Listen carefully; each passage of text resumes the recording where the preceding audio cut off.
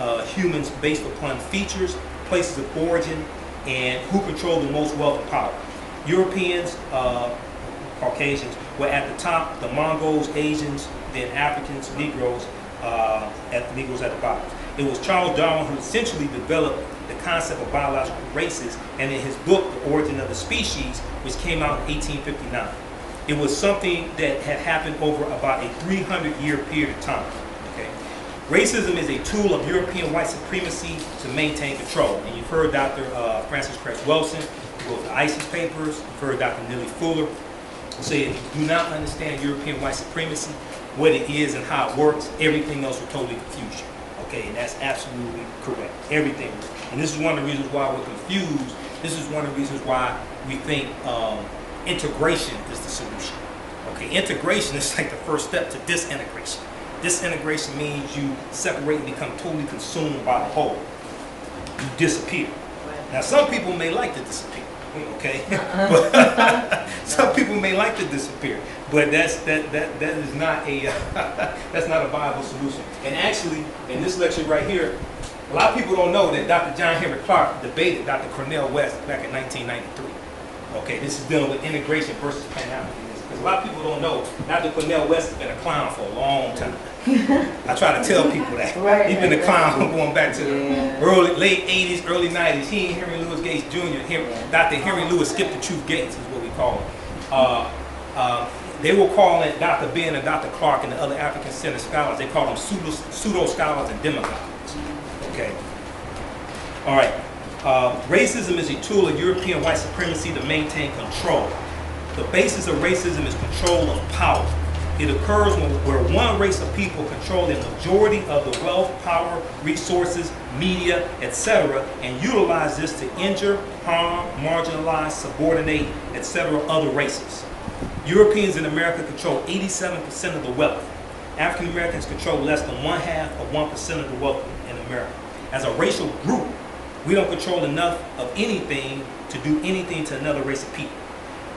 We can be prejudiced, which means to uh, prejudge based upon stereotypes. We can be bigots. Um, actually, if you, I'm gonna talk about Sanford's son. Fred Sanford was a black Archie Bunker. Okay, we could be bigots. Okay, all right. Um, and we and uh, also uh, we can be bigots, which means to have hatred to other races or ethnic groups or discriminate. Okay, we don't have the power to be racist. African Americans cannot and are not racist based upon the historical definition of racism. The problem occurs when so-called African American leaders, so-called, misuse the term racism to the point that no one really knows what it is. You can't fight what you don't understand. Whenever someone, European American, African American, says that something is racist or that you are racist, ask them to please define what is racism from a historical perspective. 99% of the time, they can't do it. If you don't understand European white supremacy, what it is, how it works, everything else will totally confuse you. Okay, and a lot of this comes from uh, PowerNomics with Dr. Claud Anderson, pages six and seven. If You can pass that around if you want to take a look at that. Now, if we look at quickly, if we look at the ISIS papers, okay, um, from Dr. Frances Cress Welsing, she gives a uh, also a working knowledge of um, racism, but especially from an African centered point of view. Now, she's an MD and a psychiatrist. Okay, Dr. Frances Cress Welsing. This is a bad sister. I had the pleasure of interviewing her April 5th on my show. I'm gonna have her back very soon. Okay, on page two in the introduction of the ISIS papers, she says, as a black behavioral scientist and practicing general and child psychiatrist, my current functional definition of racism, white supremacy is as follows. The local and global power system structured and maintained by persons who classify themselves as white, whether consciously or subconsciously determined. This system consists of patterns of perception, logic, symbol formation, thought, speech, action, and emotional response as conducted simultaneously in all areas of people activity, i.e., economics, education, entertainment, labor, law, politics, religion, sex, and war. The ultimate purpose of the system is to prevent white genetic annihilation on Earth, a planet in which the overwhelming majority of people are classified as non-white. So we're talking about African people, brown, yellow, uh, Asians, uh, every other ethnicity. They're classified as non-white by white-skinned people.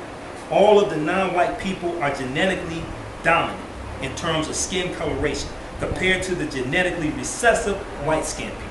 So racism was created as a as a as a mechanism as a uh, tool to keep European white supremacy in place and to preserve white genetic survival. Because we have to understand that um, we have to understand that Europeans saw what happened when the Moors went into Europe. They went to Iberian Peninsula, they go into Crete in 827, they're there to 961. They go into France, you had a million of them settled in France. They go into various European countries. They go into Ireland, they go into Austria, they go into Germany. And these Moors, not all of them, but a significant amount, a lot of them, intermix with the Europeans there and produce mixed offspring. So they see what happens. They see if this continues, their genetic, uh, they could be genetically annihilated. They could disappear. Right. Right. So racism is created to keep that from happening. And along with that, when you study racism in this country, you study history of this country, I talked about this in the previous lecture, um, you'll find out about things like the Doctrine of Exclusion in 1638 in the County of Maryland, which stated that black people should never be permitted to enjoy the fruits of white society. It's, it's later expanded to state that uh, black people should be a, a non-compensated, non-competitive managed workforce to express comfort building of white society. You'll have things like the slave codes put into effect.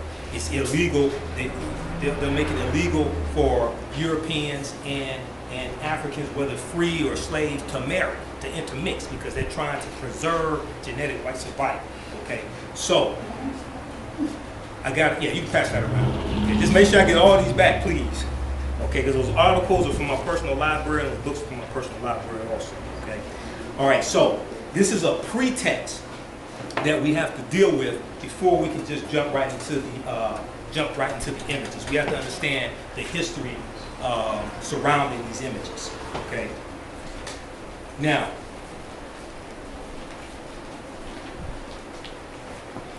um, Dr. Leonard Jeffries is one of our great Grandmaster Scholar warriors. Uh, Kalindi knows him. I've interviewed him a number of times on my show.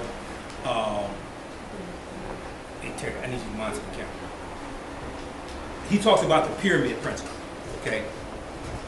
And um, when we take a break, I can show this to you. I have a, a pyramid here, and the base of the pyramid is African history and culture. African history and culture lays the foundation. Now, what is culture? Culture deals with your customs, your rituals, your spiritual systems. It deals with uh, your language, okay? It deals with your cosmology, understanding the universe as an orderly system. Uh, it deals with the mythology that a people tell. All these things are in, in culture.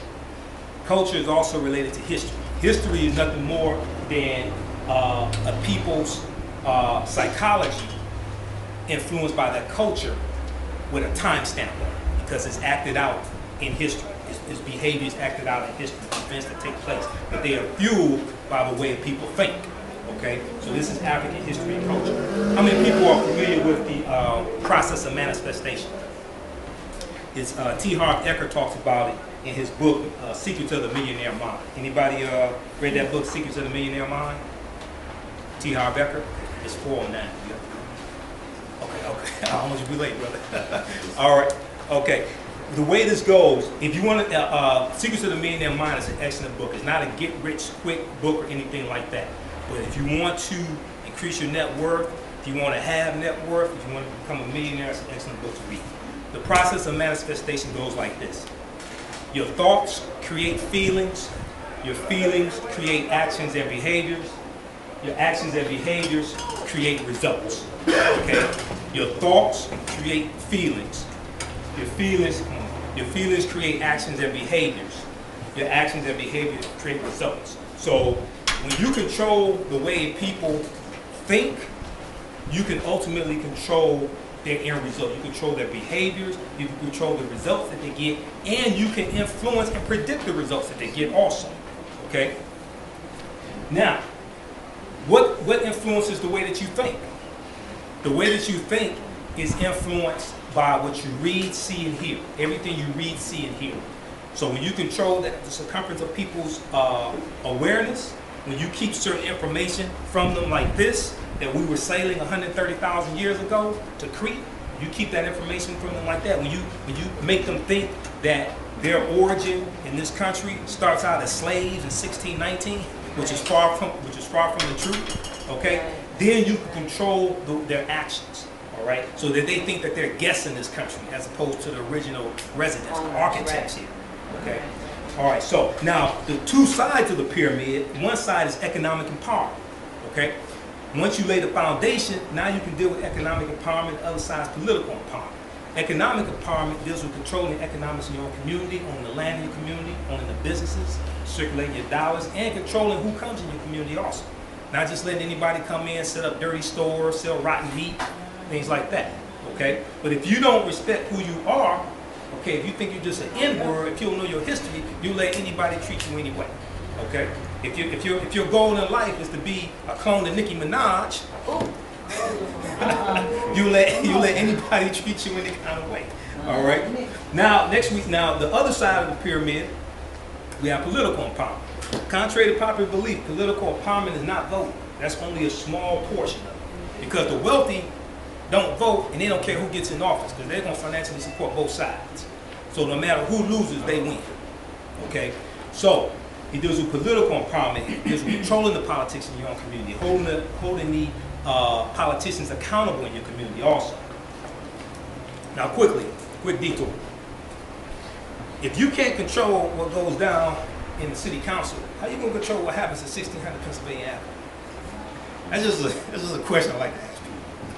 All right, and, and, and also, you know, no offense to uh, uh, Fannie Lou Hamer and, and other people who fought for the right to vote and also died for the right to vote. Medgar Evers was shot uh, June 11, 1963. Uh, he died from that gun, gunshot wound. But the sooner we realize that we don't pick the president, the better off we'll be. Okay? The electoral college chooses the president.